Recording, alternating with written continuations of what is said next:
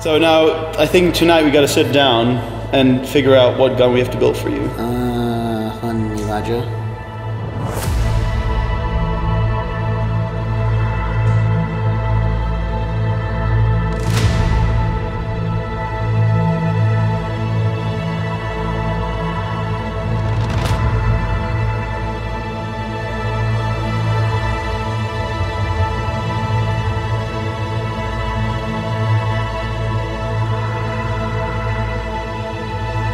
What's something nice CQB collapsible stock? I want to be able to just dominate those CQB situations.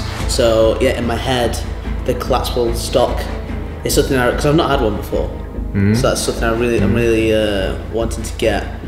Um, lightweight, I can run around with it. Bit quiet, you know. In this space, I want to be all in this space. What I want. Okay. In regards to the full auto, I know you guys are amazing doing full auto, but I just I'm I'm a semi-auto kind of guy. You know, I like to do accurate shots, move. So I mm. wasn't as reliable that I can make multiple videos with.